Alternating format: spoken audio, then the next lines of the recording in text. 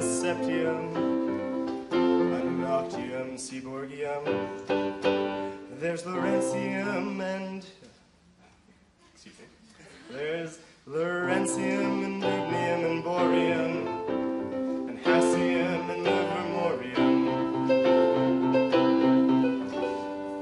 There's Rutherfordium, Meitnerium, Darmstadtium, Roentgenium, Copernicium. There's Flerovium and a whole lot more of them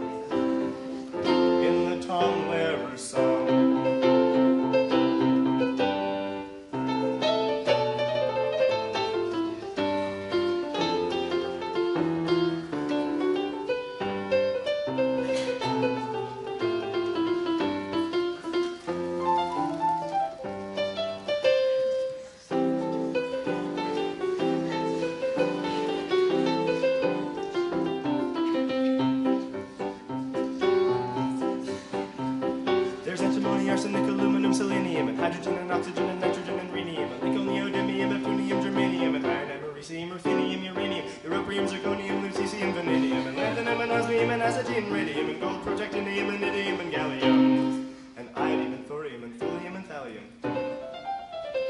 There's yttrium, ytterbium, actinium, rubidium, and boron, gadolinium, niobium, iridium, and strontium, and silicon, and silver, and samarium, and bismuth, bromine, lithium, beryllium, and barium.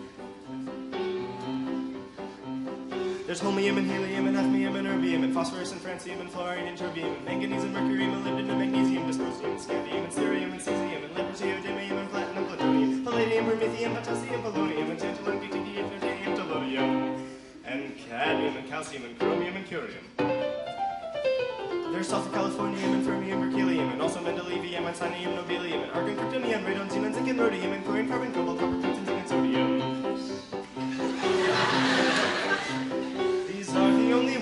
which the news has come to Harvard, and there may be many others, but they haven't been discovered. That